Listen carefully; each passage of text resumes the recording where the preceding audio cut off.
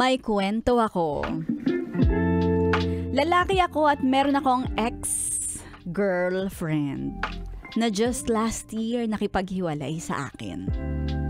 Since college, naging kami. Ako ang unang boyfriend niya.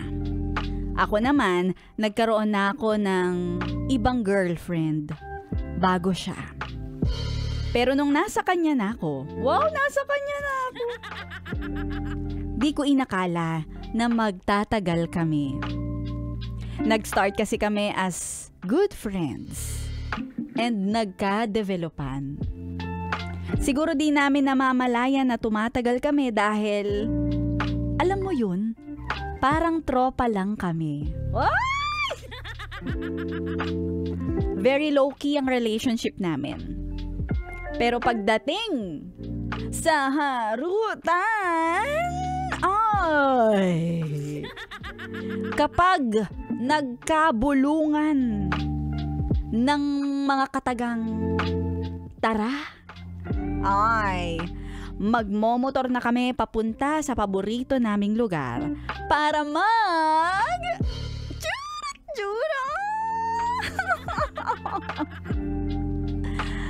At di ko hinahayaan na ako lang ang nagiging maligaya. Dahil sinisigurado ko din na makakaranas din siya ng saya. Well, five years strong. Akala, kam, akala ko okay lang kami all along. Pero may hinahanap siya na hindi ko maibigay. Akala ko talaga nabigay ko na lahat sa kanya. Hanggang sa nakipaghiwalay na siya sa akin. Gulat na gulat ako. Akala ko nga nung una pinaprank niya lang ako.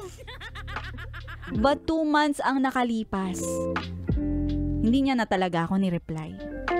Nagtangka pa nga ako na makipagbalikan pero walang nangyari. walang nangyari. Tinawanan. I think I deserve an explanation. what? Hindi ko pa rin kasi alam kung bakit.